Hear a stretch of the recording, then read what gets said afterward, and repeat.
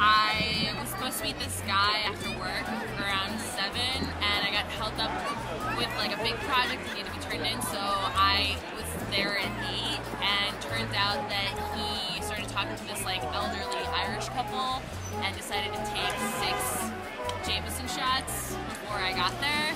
So he was completely obliterated by the time I got there and I was stone cold sober and he ended up having me to the train station to get on the train and like swipe the card for him. He was just like, I think I think you're a, a really great person, and I just I just want to see more of you. And that was that was pretty much all I could get out of him. And uh, never saw him again.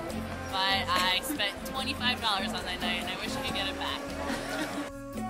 Dates from Hell, all new season, Fridays at 10, only on Investigation Discovery.